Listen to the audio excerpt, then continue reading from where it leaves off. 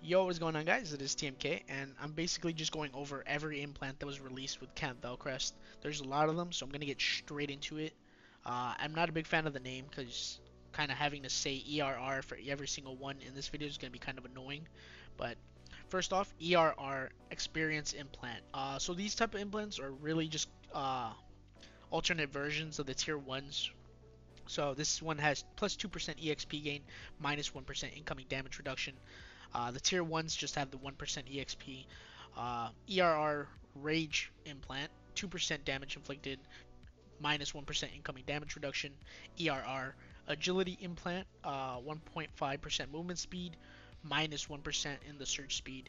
ERR Survival Implant, plus 2% incoming damage reduction, minus 1 movement speed.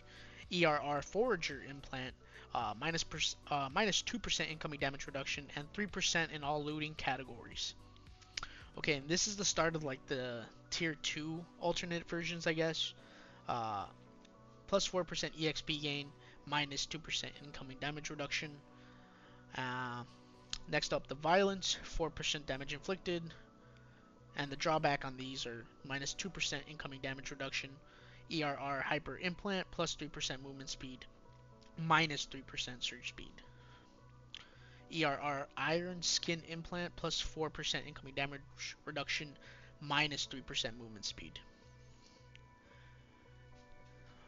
ERR Salvage minus 7.5% incoming damage reduction, but 10% in all looting categories.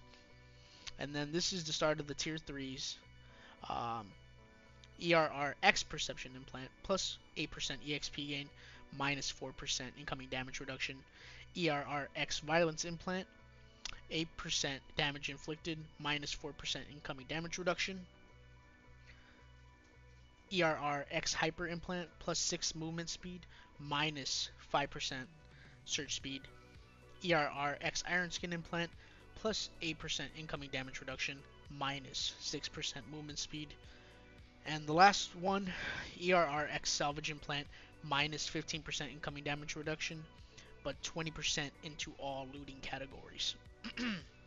so, that is it for those. I can get into the stuff I really wanted to talk about. Um, so, Dawn implant is now the Dawn Warrior implant. It's got two uh, alternate versions. Uh, Dawn Scavenger, 15% into cash and ammo, 10% to uh, armor and weapons find chance, 5% more loot spots, and 15% search speed. So definitely a good looting one. Uh, Dawn Guardian, there's not a lot to this one, just plus 15% incoming damage reduction and 5% to the movement speed. Nothing crazy. It's probably the least exciting one there is of the three. Uh, introducing the Pioneer implant. I'm going to be giving away one of these later, maybe this week or next week. 10% EXP gain, uh, plus 7% movement speed, and the first two have plus 20% ch chance to find misc slash blueprints. Uh, these two implants, the Feral and the Oculate, I don't know if I said that right, but these are from the vendor over at Camp Velcrest. 10% damage inflicted, plus 5% incoming damage reduction, plus 2% movement speed, minus 50% search speed, so, not all around good for any build, because that 50% search speed, minus 50% search speed, is kind of annoying. It is good damage, and you would think it'd be nice to carry around an everyday build, but it's not. um, the Oculic Eye, minus 5% damage inflicted, but you're getting 25% uh, ammo, 75% cash, 25 armor, same for weapons, and 10% chance in misc and blueprints. but all around, th together they're 100 mil, so they, they have a heavy price tag if you want them.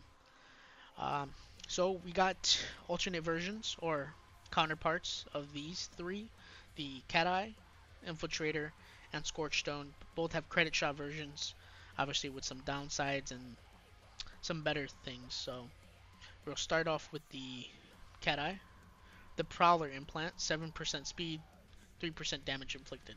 So before, Cat Eye didn't have any damage, just had the 8% speed, and that's that was it. But with this update, they gave 2% damage and they made the credit shop version, 1% less speed and 1% more damage. Infiltrator, you got 7% damage inflicted, 20% chance to find weapons, and 10% search speed. The Challenger implant has 1% less damage, but 2% more in find weapons chance and search speed. Scorchstone implant, oh my god, uh, plus 6% EXP gain, plus 8 damage, plus 2 speed. its counterpart, 1% less EXP, so 5%, uh, 1 less percent damage, but it has 2% more speed.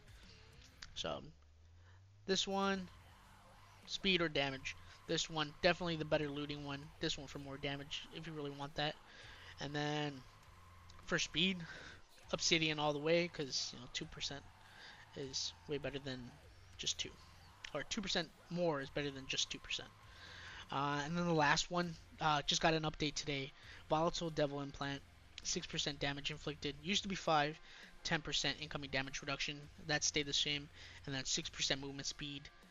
And it used to be 5, so it got a nice buff today. So that's pretty much all the implants with this update. It's a lot. This video was way too fucking long, but I did so much talking, I'm losing my voice. But yeah, guys, uh, that's a lot of new stuff. Uh, see you guys in the next one. Later.